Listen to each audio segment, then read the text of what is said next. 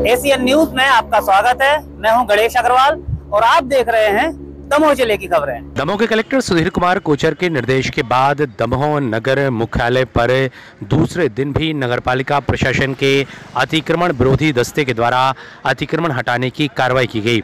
नगरपालिका का अमला पहले अस्पताल चौराहे से वृद्धाश्रम वाले मार्ग पर पहुँचा, जहाँ पर शेष रह गए अतिक्रमणों को हटाया गया तो वहीं उसके बाद चरियाई बाज़ार से लेकर के बकौली चौराहे तक की दुकानों का अतिक्रमण हटाने के लिए नगरपालिका का अमला पहुँचा, जहाँ पर अतिक्रमण को हटाने की कार्रवाई की गई। हालाँकि कई स्थानों पर अनेक अतिक्रमण रह गए हैं, जिनको लेकर के व्यापारियों में चर्चाओं का बाज़ार गर्म है और व्यापारियों में रोष भी देखा जा रहा है। रिपोर्ट एसीएन न्यूज़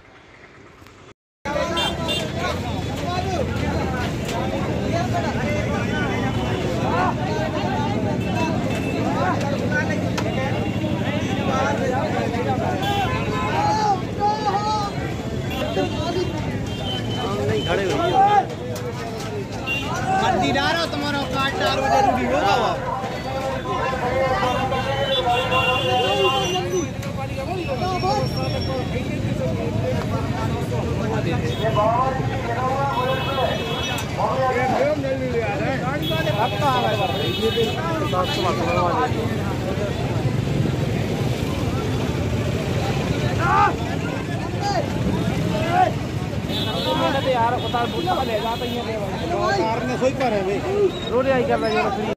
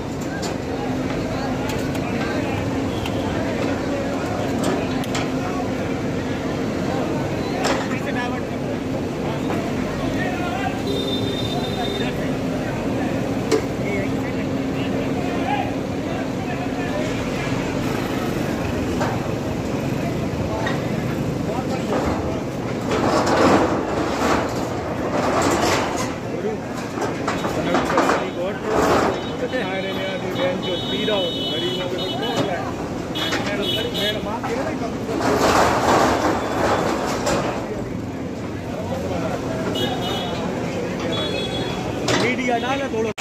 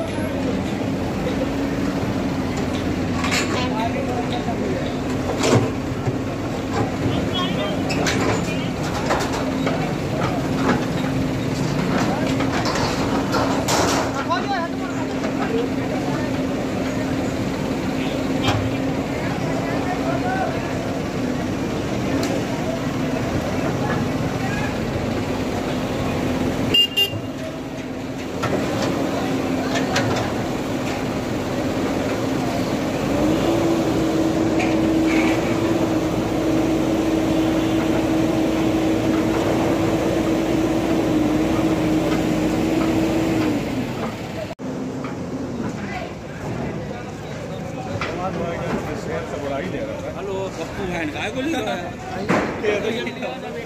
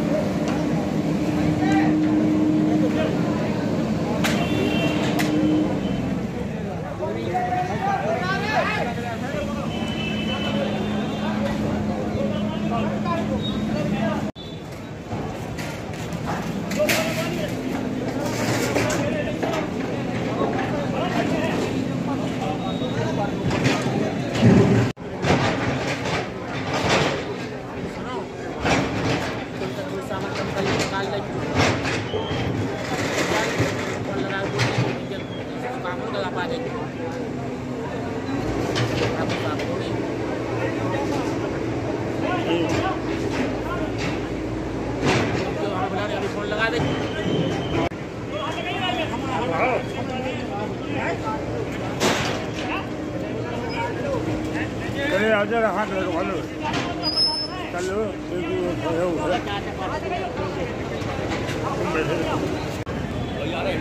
आवाज़